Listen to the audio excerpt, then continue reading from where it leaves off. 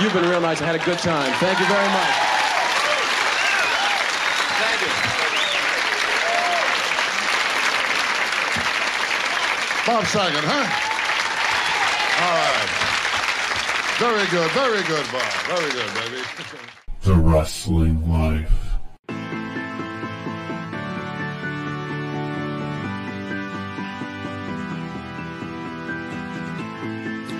Hey everybody, it's The Wrestling Life. It's episode 289. It's our first show of 2022. I'm Ethan. And I'm Liam. Liam, we have so much to talk about this week.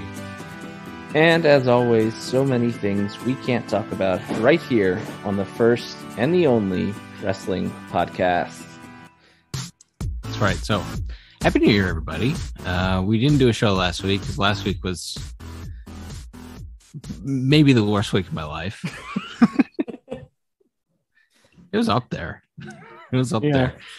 But before I did any work, I watched 29 hours of wrestling last week. Before I did any work, just watching the shows took 29 hours. So, like, I realize we're completely you're like you're planning, you work for a wrestling website and you have to work on wrestling. Trust me, it's not it's not digging ditches, it's not breaking rocks in the hot hot sun. It doesn't really feel like work. At the same time, you only have so many hours in a day, and you only have so many hours in a week. And when 30 of them are taken up before you start doing anything, that's a problem. So last week, pretty busy. New Japan ran three five hour shows. We never need that again. never, never, never, never, never need that again. Uh, AEW, they are in the uh, the content is king uh, era now, as they have a Battle of the Belt special that they added. Just you know, all the all the content last week. How much content did you consume last week, buddy? Uh, so I watched the the top matches. I I Brian Alvarez it on the on the Wrestle King the first two nights of Wrestle Kingdom.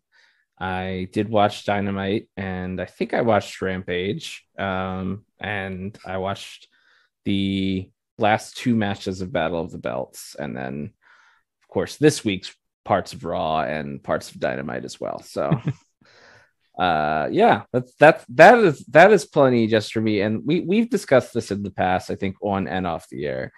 You have to wonder like i guess there's a percentage of people that just this is all they care about. This is all they do for their leisure is just watch different professional wrestling companies. It's like don't you like sports or cartoons or or anything or at least at the very least don't you have to eat and sleep or go to work like I think I think well as you as you kind of allude to there, I think there's a, a, a portion of fans, and it may only be, you know, seven hundred thousand of them or something, but this is their interests. And every night between eight and eleven, they if they work, they come home from work, they eat dinner, they watch wrestling from seven to eleven or eight to eleven or whatever wrestling's on, and that's and then they go to bed, and that's it. They don't like sports, they don't like anything else, they don't watch any other TV. Like it's it's Mhm. and that's their entertainment. And I think that number is shrinking, but you know, kind of thank God that number's there. It's the only thing keeping the wrestling business alive. But the uh, the the hyper consumer, as you will. You're not you're not necessarily trying to cast the widest net possible. You're just trying to keep the ones that are still invested like super invested. right. You know, we can this could become a much bigger conversation about ratings and such, but that reminds me. So Raw did like, you know, they do their 1.5, 1.6 million viewers, whatever it is every week. We never get the DVR numbers. We get the the next day numbers, which is the live uh same day, live and same day viewing. We rarely, if ever, get the plus seven, which would tell you how many people are, are watching on DVR. How many people do you think is it double the you know is it 3 million people that are watching raw every week is it you know what do you think Yeah, I mean, you would think it's got to be like like two, two and a half mil. Like if combined, like with with that, you would have to think it's it's that it's that many. And obviously, a lot of people are consuming the product through clips and gifs and stuff too. So like there's more I think there's more than that, but yeah, as far as the people that are actually watching it on that DVR plus 7, you have to imagine if it's that that has to be that would at least explain the more stark drop off, right? Where in like Right. four years we've gone from from three million to one and a half million. Like I like yeah, I'm sure there is a percentage of people that just aren't watching at all anymore, but not like that that would be much if we looked at the the plus seven numbers, I think you would find a lot that number is not maybe as astronomically smaller as it, it can sometimes appear. Well, as we've gone on one of our trademark tangents here, we'll try to reel us back in and we'll go chronologically here. New Japan last week, Wrestle Kingdom shows. The big direction coming out of Wrestle Kingdom is Kazuchika Okada versus Tetsuya Naito. Not lighting my world on fire, but hey, Okada is the champion again. He's the champion as they celebrate their 50th anniversary. And I thought that was predictable, not necessarily bad, because he's probably the greatest wrestler to ever live. But Mhm. uh, I was not blown away by Wrestle Kingdom. Long, long, long shows and three nights of them. Uh, what do you think of those shows and uh, what stood out to you? Yeah, the uh as uh who's it Ross Berman refers to him, the boy king of New Japan, Kazuchika Yes. Okada is is once Yes. again on his throne. And Yes. uh yeah, the I it's always he's always like a safe guy, right? He's the this like much like it was a safe bet to bet that John Cena or Triple H or someone like that would would get the belt again at some point. It's always a safe belt uh, bet to assume that Kazuchika Okada is eventually going to be the world champion in New Japan again.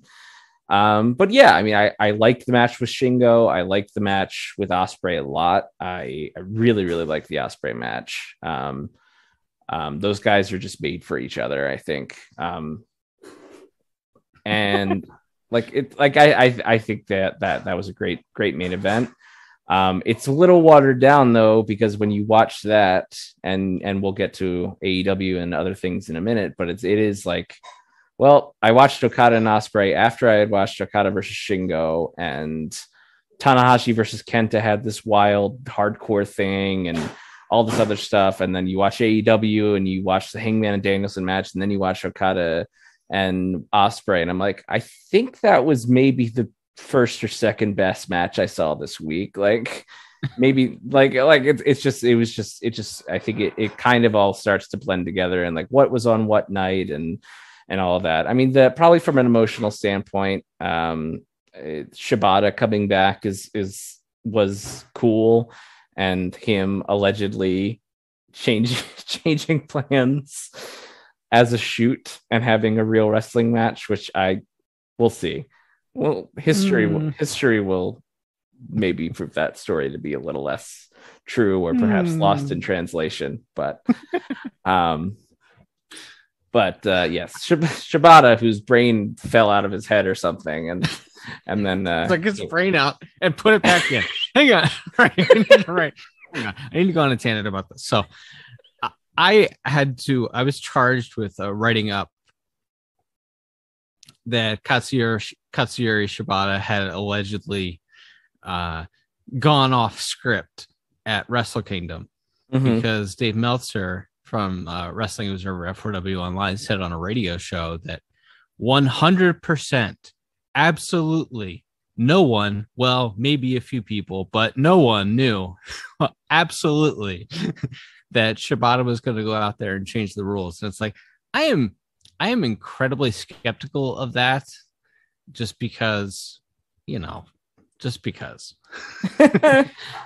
well, But when he says maybe a to- few people, wouldn't you would think Gedo would be one of those people then, right? Um, you'd think the Booker would know. Yeah, I mean, he claimed he claimed on he claimed on the podcast that they that Gedo did not know, but I don't know. I I was skeptical of that. I think yes, between things getting lost in translation and maybe the English speaking sources that Dave has in New Japan are really dumb people. if you can read between the lines there. maybe they're just like some of the dumbest guys to ever walk the face of the earth. Mhm, mhm. Um, maybe some things get lost in translation there, sure. Uh, but he, I mean, he also reported in the Wrestling Observer newsletter last week that Katsuyori Shibata had a surgery where they took his brain out and put it back in.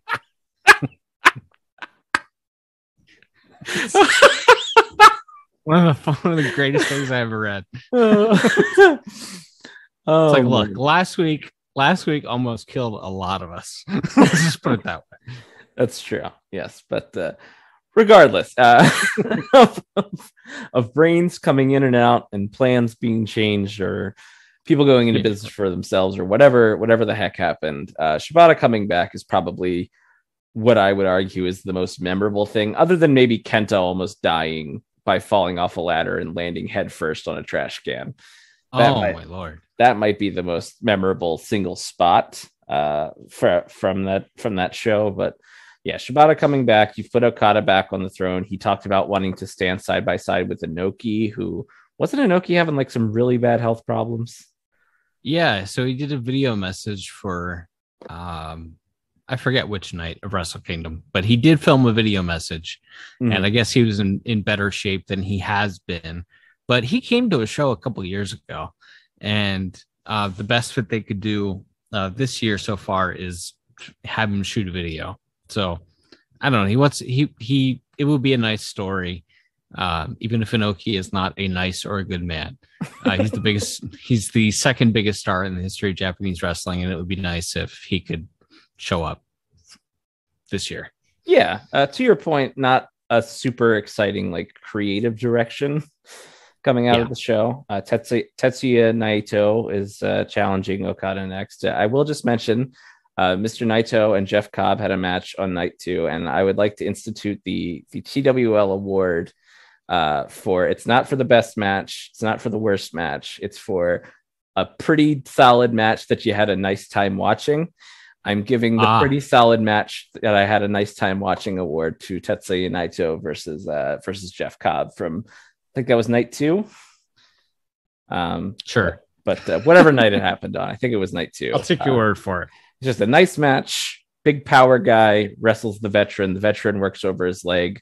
Eventually, the leg gives out. The veteran wins.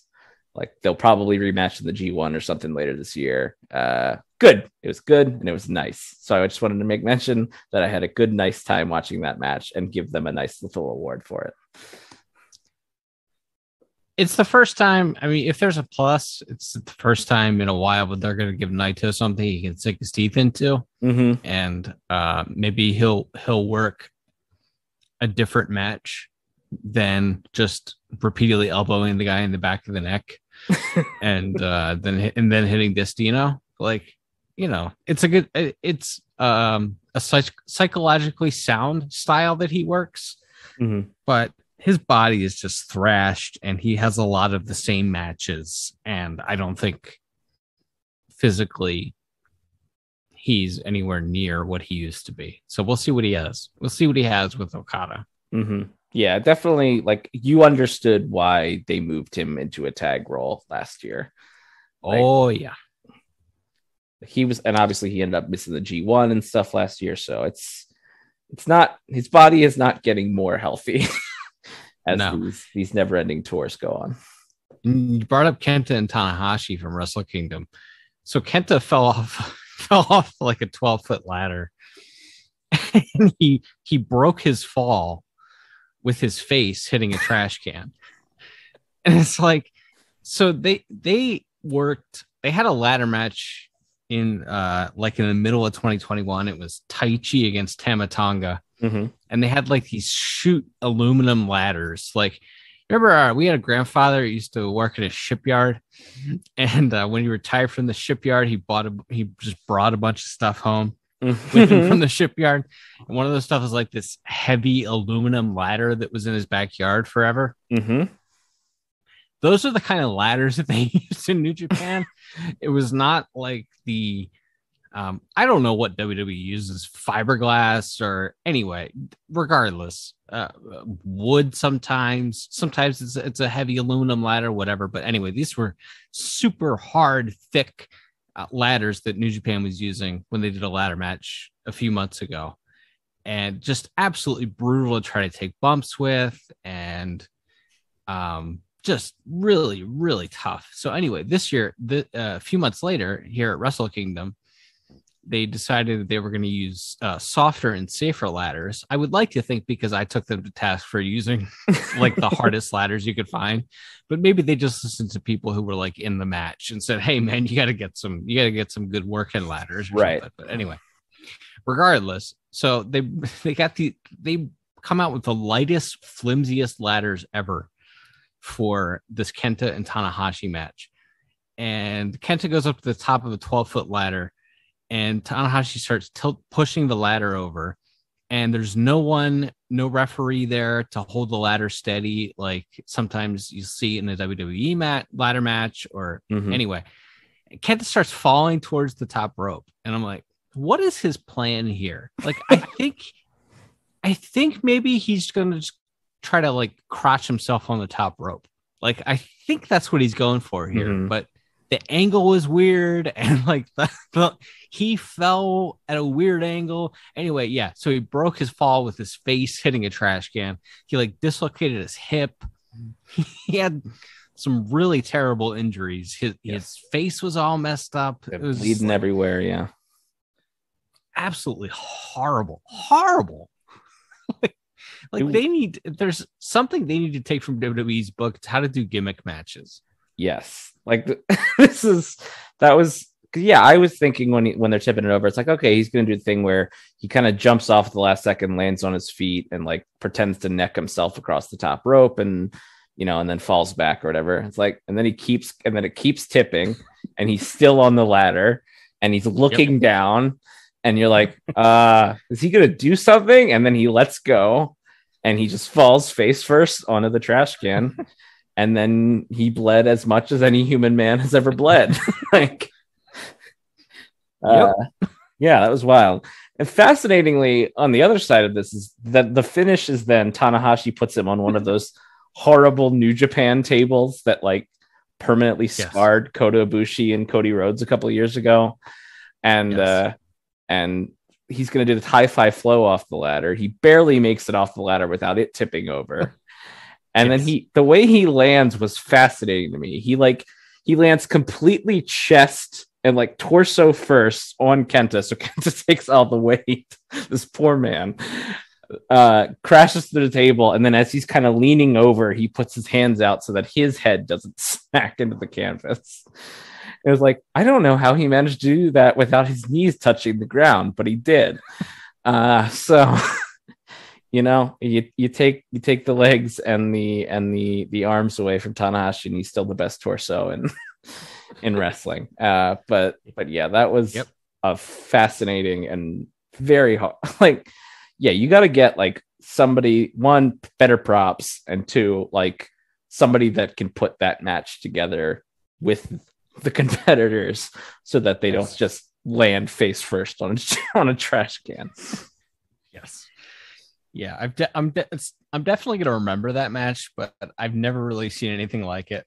And like, if you were to start a list of people that would need gimmicks like that to have a good Mhm. match, like Kenta and Tanahashi, be pretty far down the list. i was gonna say and that they yeah, that is part of the novelty. It's like, okay, Tanahashi, one of the greatest professional wrestlers in the history of the world, and Kenta, like at, at the very least, one of the greatest Japanese wrestlers of the 2000s. And they're doing like what you might expect to see on like some like Midwest indie show, like Right. like death match stuff, or you know, with like trash cans and kendo sticks and falling off flimsy ladders. Jeez, what is going on? Yeah, I don't know about that. Um, they hit, they had a pretty good regular match a few months ago, like six months ago. Mm-hmm. So I guess they just wanted to do something different, and they they sure did that. uh, WWE gearing up for the Royal Rumble. They have pre-announced a bunch of the uh, women's legends, the Trailblazers from the past, who will be coming back for the Royal Rumble. Kelly Kelly, Lita, et cetera, et cetera. Michelle McCool, the Bellas. Um, and then a handful of dudes they've announced for the Royal Rumble, but uh, we're on the road to the Royal Rumble and we're telling some stories. We got a mixed tag program going. We got uh, Roman and uh, and Brock Lesnar is certainly appears to be the WrestleMania direction, and I'm actually excited to see that match. I don't know how they did it, but they got me excited and in and invested in seeing Roman Reigns and Brock Lesnar wrestle again in the year of our Lord 2022. They've done it. Uh, what's your thoughts on? Uh, I guess Roman's got Seth Rollins from Raw as a placeholder feud for Mhm. now. Uh, what do you think? What's uh, what's your just general WWE thoughts as we get caught up here? Yeah, I think there's always a little bit of a, even when WWE is, uh, let's say, creatively lacking as they have been for the last uh, two decades or so. Um, like I think the Rumble season always feels kind of exciting, just because Rumbles are fun and it's really hard to have a bad one. Like, and you've got two on the show. They announced all these returning people for the for the women's match, including by name Impact Knockouts champion Mickie James which is right. fascinating to me. Um, uh, and yeah, so I like that's gonna be that'll be that'll be a lot of fun. Having all those returns will be fun. Yeah, the, the I'm a little surprised that they're doing Seth versus Roman now because that feels like one of the very few like big big matches between two full-time wrestlers in WWE that they have left to do. I mean, I know they've wrestled before, but it hasn't, they haven't in years and not in these like current iterations. Right. So it feels like it would be a really big match for like a SummerSlam or something. I mean, I guess Rumble is still like the second biggest show of the year. So I guess it is fitting for that stage. But a lot of times the Rumble title matches are kind of less than because you're selling it on the Rumble matches themselves. And you need, I Right. mean, you want all the stars in the Rumble match. So Right. I guess that's interest. So that is interesting to me. So I would be interested to see what they what they would do with that. Um, um, I like my in my head. I'm like, well, maybe they're gonna like do a belt swap before Mania. Like maybe Roman's gonna lose to Seth through some Brock interference or something, and then Brock and Roman will be for Brock has the WWE title. Yes. Uh, so so maybe th- and that'll be the Roman and Brock feud, and then Seth will take the Universal title to Raw and wrestle whoever wins the Rumble, I guess for for that belt. That like I guess that's the most interesting thing. It's like okay, so how does this shake out if they aren't just going to end up doing like you know title for title or whatever? Yeah. I I think it's interesting that they have some intertwining stories and stuff going on, even if it's totally by accident, because they had to have uh they added Brock to that title match because Roman got COVID and they had to put the the raw title on Brock. It's like, well, okay, now you got the Raw champions feuding with the SmackDown champion, and then a guy from Raw is wrestling the SmackDown guy. It's like, okay, well, I got a reason to watch both shows now. So that's even if it's totally by accident, they kind of lucked into into something good there. I think. So we'll see what happens there. Uh, Sasha Banks got hurt. Uh, I think she was the WrestleMania program for Charlotte Flair. I'm fairly certain, just because by process of elimination, there's like three people on the roster, and um, and Toni Storm quit and and went flew home. Uh, she just she gone. she she up and quit the day I was going to see her wrestle live for the first time. she she got on a plane and went home. Said, "Oh, you want me to go to Baltimore? No, thank you. No, thank you. I will. I, for one, choose quitting the business." I, I mean, I guess we didn't talk about this because we had two uh, evergreen shows taped around the holidays, but I went to the WWE house show the week after Christmas, and boy, was that show! Woo! That was a show, let me tell you. but yes, Toni, I they were in DC the night before, and then they were in Baltimore the next night, and whenever they do that, it's like I always think about going to both, or I always think about picking DC over Baltimore. And it's just like going to DC on a weeknight is a hassle. It's like Mhm. you're not going to get home until after uh, after midnight and whatever, whatever, whatever. I decided not to go to DC. The DC match was Charlotte versus Sasha versus Toni Storm, and Sasha Banks and Toni Storm both in my five favorite wrestlers. And then the next night, Toni Storm quit. and so I just got Sasha Banks versus Charlotte Flair in a in a fun house show match. But yeah, I'm uh, somebody uh, the the Diva Bible guy on Twitter is like, "You're cursed," and it's like, "Yes, I am in fact cursed." That's I mean, I don't know how else to explain it because that is I just I just want to know what happened so bad. Like I need a an 83 weeks podcast, but just about that week of her life. Like I don't really care about So the rest of her career. I just want to hear what happened like that week and specifically like those three days between when I guess the her title match with Charlotte aired on SmackDown and she lost or whatever, and then they she was on a house show loop with them and then just flew herself home and then called them to say she was quitting. Right. So like Sunday was Tampa, Monday was I forget like Richmond or something. Tuesday is DC, Wednesday is Baltimore, Thursday was Buffalo, and then uh Friday was SmackDown, Saturday was day 1 and it's like okay, then you had a few days off.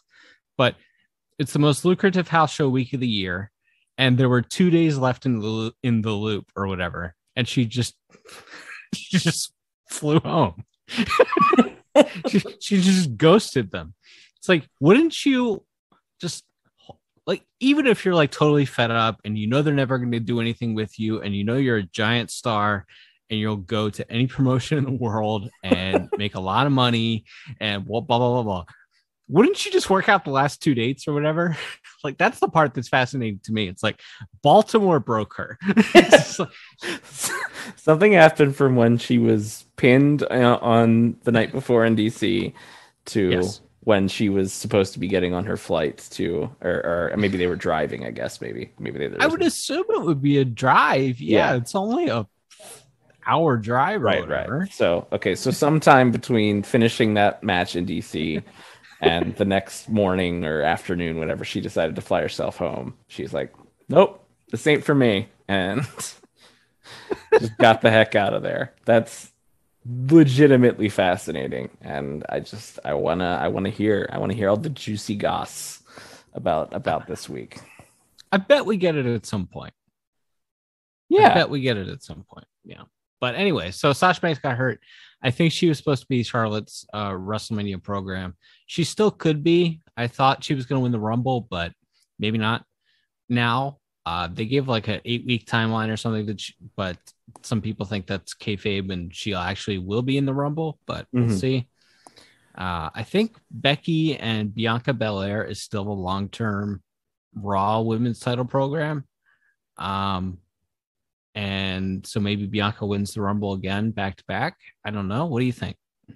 so charlotte is in the rumble even though she's the champion Yes. Yes. Um, well, that makes me hope that she wins because I think that would be very funny. um, but if we're talking about things that I would actually like to see, yeah, I guess it's Bianca then because who? I guess it could be like whoever eliminates Charlotte then goes on to win the Rumble and challenges her. But again, if that's not Sasha, then it. But they still think Sasha will be healthy for Mania. You probably don't want to tie Right. Charlotte to somebody else unless you're going to do like a, a triple threat or whatever. I mean, it could. yeah. I mean, hey, maybe it's fearless Nikki Bella.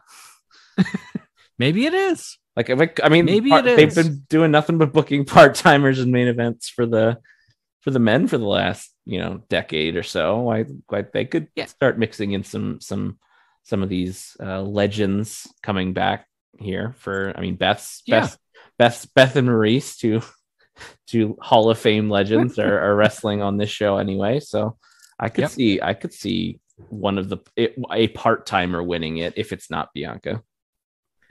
So th- their reaction to, to Sasha getting hurt was to announce Charlotte for the Rumble. So that told me, okay, well, Sasha's not winning a Rumble now, but whoever eliminates Charlotte from the Rumble will be her uh, foe on SmackDown, whoever that turns out to be. Even if it's for, even if it's just for like a month or whatever. Right. uh, if Sa- if Sasha is going to be healthy. And I think Bianca wins the Rumble again. On the men's side, no earthly idea. No earthly idea. You gotta assume it's, I guess, whoever. If they're not doing title for title, uh, then you have to assume that it's like because that was my other thought. It's like, well, Brock or Roman could lose and then like enter the Rumble and win the Rumble and challenge the other one. Um, Right. But if it's not that, then I, you have then again, I still have to think then that Seth's winning Roman's belt and it's Big E or whoever they would put with Seth for Mania, I guess. I just I don't see Seth Rollins, this version of Seth Rollins beating Roman Reigns. I mean, maybe I'm crazy. I wouldn't do it, but I, I just feel like Yeah. I so maybe but so yeah, I don't know. I think I I think Roman screwing Brock out of the WWE title is uh, is a decent possibility, and then maybe Brock enters the Rumble again and wins it, and goes on to wrestle. Uh, yeah, Roman. yeah, so that seems Lashley- like. Yeah, so then Lashley would be your WWE champion, and then he can wrestle. I don't know who. I mean, again, it's the Like- same three guys, right? It's Rollins, it's Owens, it's Big E. Like they don't But really only have- one of those guys is a baby face. I mean, I guess Lashley's half-ass a baby face anyway. Like, I Mhm. mean, he's a heel, but he's so cool that everybody likes him. right. He comes out in a suit and then he beats everybody's ass. Right. It's Wild he's that that guy's getting baby- cheered. He's kind of a baby face anyway, right? Mhm. So yeah. So I I think I don't know. We've fantasy booked a lot here, but I think that's what I I think that's what they'll do. I just like Roman's had that belt for like 500 days or something. It's Yes. like maybe Brock beats him, but I don't think Seth Rollins beats him at that at that. You know, who knows? And we're still holding AEW. out. We're still holding out for Dwayne. He's totally not going to ghost them next year. Oh man, he filmed a video for Ken Shamrock getting inducted into the Impact Wrestling Hall of Fame. Mhm. He filmed a video for Bret Hart being inducted into the Canada Walk of Fame. Mhm. They couldn't get him to do a video for the Survivor Series that they built around him. What? How long does it take to like after he works out and he's you know got his chains around his neck or whatever, and he's got his his Under Armour t-shirt on and he's sweating more than any human being who's ever sweated in their entire life. and he shoots a 30 second promo and says, Hey, thanks for building Survivor Series around me. Do you smell the rocks cooking? See you next time. Mhm. How he must not have wanted to do it. like that's my takeaway from it. But yes, they will, they will, they are just they will kiss his feet until he shows up. They'll do branded content for every movie he's in until until he comes Yep. back. Yep. Yep. Um, yeah. So someday we're gonna get Roman and Dwayne though. Like someday we will. Someday he's gonna decide he doesn't, or someday the movies will stop paying him and he'll come back at 55 years old or whatever, and he'll do the Roman match. But yeah, so Roman might have like a, a Bruno run, like nine years of the title or whatever. Why not? Like, sure. Yeah, it doesn't matter. Like I mean, no. Even eight- if he loses the belt, nobody's getting pushed higher than Roman Reigns as a full time wrestler in that company. So might as well have him be the champion. Yeah, I mean the the only thing you got to worry about is the the times the the the when he turns forty, he's going to do the Cena thing. He got his he got his big piano key teeth, and uh, he's going to go he's going to go make movies Mhm. uh, like like Cena did when he turns forty. That, that's my my thing. So I think we still got like five years before that happens. I think he's like thirty five, isn't he? Is he thirty five? I think so. Yeah, I think that's right. All right. AEW. Lance Archer feuding with Adam Page. What? this this felt this week's AEW Dynamite felt like a COVID show to me. And I don't know. I mean, obviously we know obviously we know that um medical protocols force them to strip Cody Rhodes the TNT title or eh, institute an interim TNT champion or whatever. They took him off the Battle of the Belts show. Sammy Guevara wrestled Dustin on that show. First time Dustin Rhodes has ever looked old was in that match with Sammy Guevara. There's like certain things that he st- that he did that still looks like Dustin Rhodes, but he also like couldn't catch his breath and stuff. And it's like this is the first time Dustin Rhodes has ever looked old when he wrestled uh, Sammy Guevara on that Battle of the Belts show. But regardless, I don't know that Dynamite was a COVID show this week and that a lot of people were seemed unavailable or whatever. But I think, and obviously, I'm I want AEW to succeed. I want Tony Khan to fail miserably. I want AEW to succeed, but I thought this is maybe one of the worst dynamites ever this week. What did you think of the show? Yeah, and it's one of those things where when there isn't like a great wrestling match across the show, like I didn't think any of the wrestling was bad, but there wasn't any great wrestling. And so when there's nothing great on the show, you begin, or at least I personally find myself picking at things that I might have let slide on other weeks where it's just Sure. like and this is not a new problem for dynamite but the cut and paste nature of the the angles they run where someone comes out to talk or is backstage talking and then gets interrupted and then there's a brawl. You know, like they've done like eight of those on this show. The fact that almost no match ends clean or if it does have a clean finish there's an immediate run in and a brawl or or something like that. Like you just you start to pick at that stuff that maybe you let slide on other weeks when you know you have something like Hangman versus Danielson. And speaking of Hangman, yeah, it's like nothing nothing against Lance Archer. Like I very much enjoy his matches for the most part. It's cool that he like at like 39 figured out how to be a great wrestler. Like Yeah. after being kind of like a boring tag guy for a lot of his career, like he just suddenly became Pretty mid for most of his life. Yeah. Correct. and then suddenly it like 39, he wrestled Osprey on that Texas show, and everyone was like, "Oh my god, is, is Lance Archer good?" Um, He's like 44 now. mhm. Yeah. It's So insane. God bless him. So I, I'm, I'm, Yeah. ha- I'm, and like he's very much seems to have found himself like he's the Kane of AEW, and then he's he's kind of when he's healthy, he's around, and then like once a year they put him into a feud with the world champion, and he and they book him like a monster for like four weeks. And then they have the match, and the champion beats him clean, and then he's back to kind of just being a guy hanging around. and that's what it feels like. I mean, he in this case he has actually been away, but but for Hangman going from wrestling ostensibly the top guy in the company and Danielson twice in two incredible matches over the last month, and then now being into a feud with the Kane of AEW, big old downgrade. And that's not Lance Archer's fault necessarily, but yeah, that does not feel like a strong direction my impression is that the pay-per-view match is him and Adam Cole.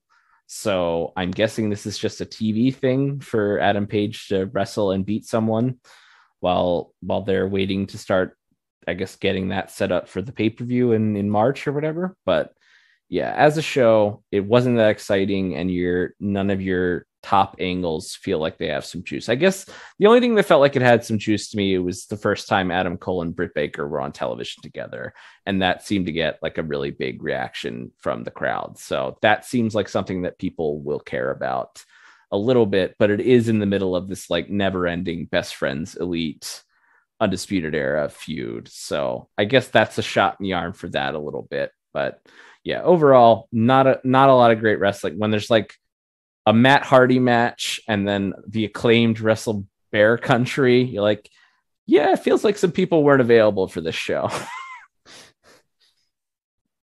Yeah. Yeah, very much. The matches between uh the best friends guys and the elite and the elite adjacent undisputed era guys. Like the, the matches will be really good. Mhm. The the story that they're building where it's obviously going to be the Young Bucks and Kenny against Cole, Fish and O'Reilly. Feels very 2019 AEW to me Mm. it's a lot of guys in their 30s very deeply into their feelings on national TV. It's just a it's a young bucks story and I don't care for their stories. I love I love their matches. I don't Hmm. care for their stories. I think that's fair. Um, I just, I just hope, and we, I discussed this on Twitter this week. I really want a segment where a skit where Adam Cole has uh, invites both the Young Bucks and Red Dragon, and we could throw Britt Baker in there too. He invites them all to a dance, and he doesn't tell any of the others that he has invited the other ones and then he has to dance with all of them without the other like he has to dance with each individual member of red dragon the young bucks and britt without any of the others seeing him dancing with them that is my ideal like you can do that on i prefer it on dynamite but if you could put it on bte at the very least i think that would be wonderful I, Greatest thing I ever heard. uh, also, here on Frasier Observer Radio, you just described the plot of every episode of Frasier. Like- obviously, that's why I love Frasier so much, just because that brand of zigzag uh, farce humor is my absolute favorite. Uh, but yes, I wholeheartedly endorse that uh, proposal. That's that's my white whale now. it's a a skit where Adam Cole takes the Young Bucks, Red Dragon, and Britt Baker to a dance and doesn't let the other ones know that the other people are there. I've like very loosely have maybe somebody that I could send a message to. It's like, hey, could you tell could you tell these guys to do this on the show? like I've yet to do that. I've yet to like take advantage of any of, of my uh, what, what connections I may or may not have, but it's like Mhm. I'm willing to go to the mat for this one. So I, I'm gonna shoot some. I'm gonna shoot some DMs. I'm gonna shoot my shot. in some- I, got- I we gotta gotta make this happen. It's the that's the greatest thing I ever heard. All right, so this week coming up, uh, what do we got? We got Raw, we got SmackDown, we got Rampage, GC Dynamite, GCW. yeah, Moxley's gonna be back. I I expected him this week, but he's got to be back like next week because uh, GCW has that show next Sunday. I think. I think it's Sunday night where Yes, the they're 24th. at uh, yeah, where they're at Hammerstein, and it's going to be on traditional pay per view in addition to being on FITE TV. And they did like a number one contender tournament for their title, and uh, they have yet to announce Moxley for that show, but I would imagine Moxley will be defending the title on that show, which would mean that Moxley's got to show up next Wednesday or next Friday for uh on Dynamite or Rampage. I would think. Yeah, I would think so. I think they're live for both Wednesday and Friday next week. So, Yeah, they're in DC both nights. Yep. um, so yeah, there's a couple opportunities for him to to show up as a surprise or whatever. But yeah, it'll be interesting because I think I think as we talked about, he was very clearly I think going heel and was probably going to win that tournament and be Hangman's first challenger. Uh, coming out of coming out of uh, that that last pay per view, and then obviously he he had to go away uh, for his personal issues, and it's like this guy comes back now. You can't buff Bagwell this, right? Like he's the big, he's going to be the biggest baby face. You can't turn him right away. Like, I mean, you can, but I think it would be a mistake, I guess is what I'm saying. Yeah, I would not. I would not do it.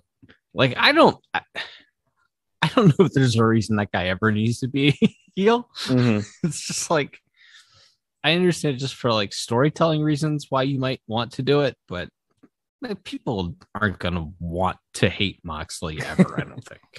Well, and he, I think he is that type of character that like you don't have to make him the the mustache twirling bad guy, right? The He's- barbershop window heel. Right. Like he's a big mean man, even when he's a good guy. So you just have him be a big mean man to the cowboy that we all like.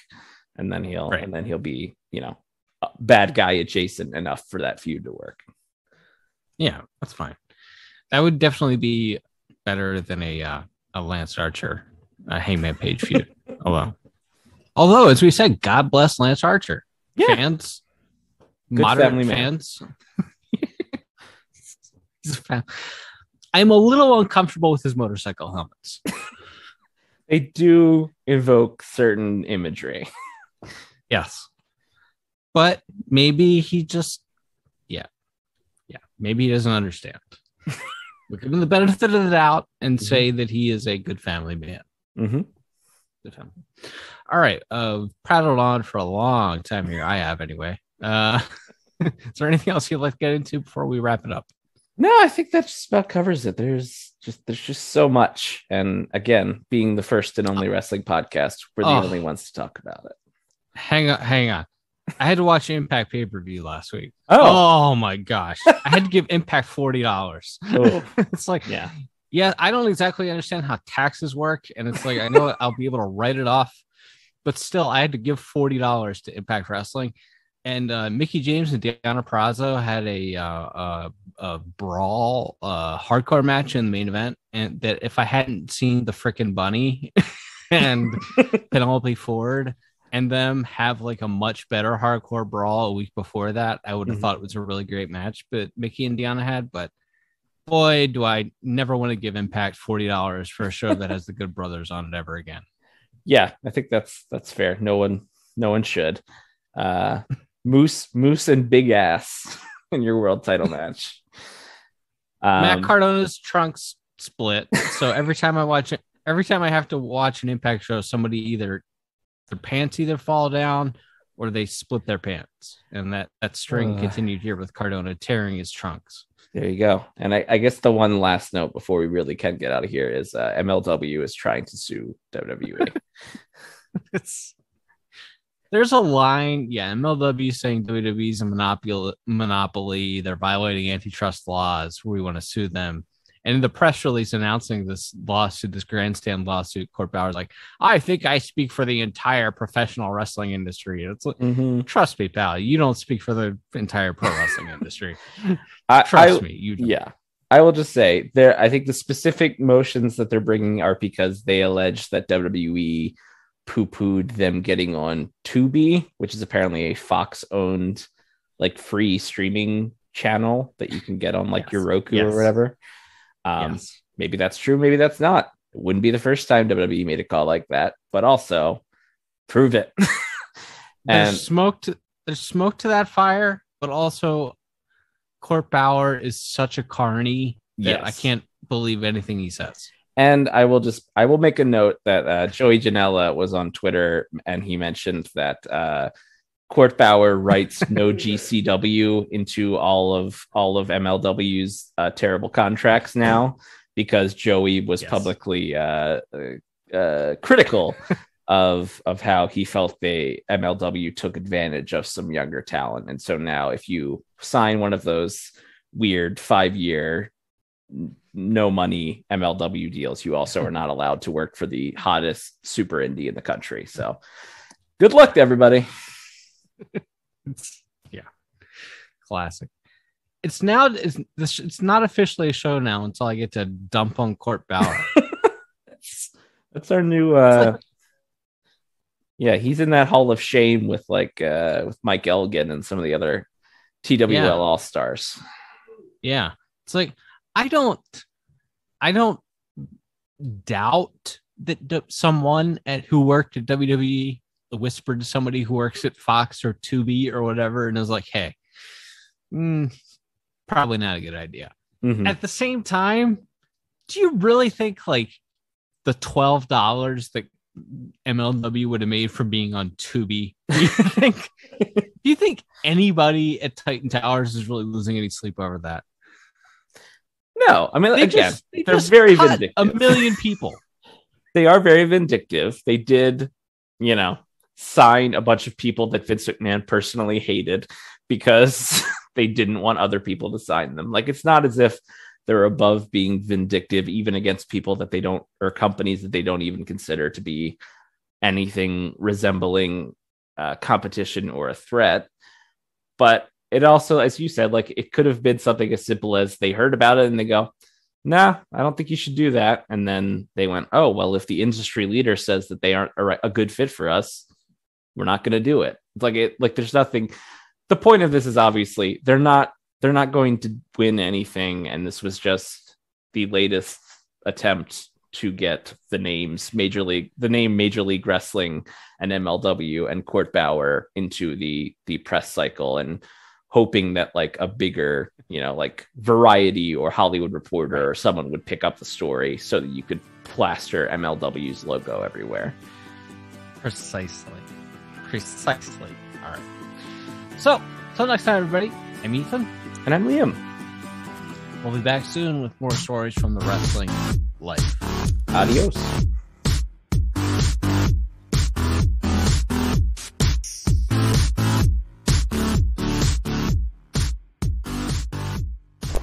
For listening. Don't forget to leave us a five star review on Apple Podcasts. Now, here are this week's bonus features. I